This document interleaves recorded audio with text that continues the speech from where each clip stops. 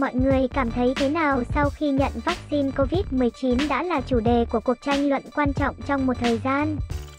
Người ta thường xuyên báo cáo rằng các tác dụng phụ phổ biến bao gồm một số biện pháp như mệt mỏi, đau đầu và phản ứng tại chỗ tiêm. Nhìn chung, những tác dụng phụ này là những dấu hiệu mà vaccine đang kích hoạt phản ứng miễn dịch cần thiết. Một nghiên cứu mới được công bố trên NPJ Digital Medicine cho thấy cách các thiết bị đeo được chẳng hạn như đồng hồ thông minh có thể giúp theo dõi và định lượng hiệu quả các phản ứng sinh lý được. Kích hoạt bởi phản ứng của hệ thống miễn dịch với vaccine COVID-19.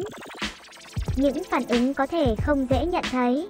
Các nhà nghiên cứu tại Viện Nghiên cứu Scripps đã ghi lại thông tin về thói quen ngủ, nhịp tim và các loại hoạt động khác từ 5.600 người tham gia.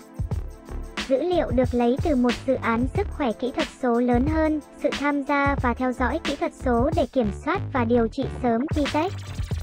Mục tiêu của nghiên cứu này là thúc đẩy việc chia sẻ cách mọi người phản ứng với việc tiêm vaccine, bao gồm bất kỳ triệu chứng hoặc tác dụng phụ nào mà họ gặp phải. Trong nghiên cứu này, mục tiêu là phân tích dữ liệu thu thập được trong DTEC cả trước và sau khi những người tham gia nhận vaccine COVID-19 các nhà nghiên cứu đã có thể định lượng những thay đổi sinh lý chính bằng phương pháp này, đặc biệt liên quan đến nhịp tim.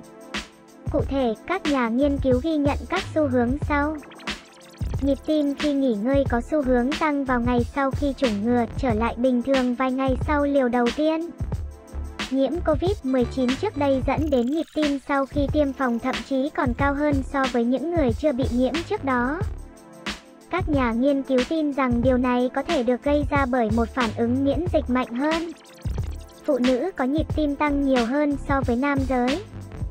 Những người tham gia cảm thấy giấc ngủ tăng lên sau liều thứ hai cũng có thể là do phản ứng miễn dịch học.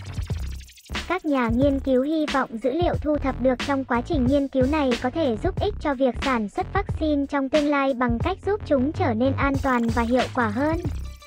Cụ thể, Nghiên cứu nhấn mạnh vai trò tiềm năng của công nghệ đeo được trong việc giám sát các phản ứng vaccine. Những thông tin chú ý khác chúng tôi sẽ cập nhật bài viết lần sau. Rất mong sự ủng hộ của các bạn. Chúc các bạn vui vẻ. Xin chào, chia sẻ hữu ích nhé.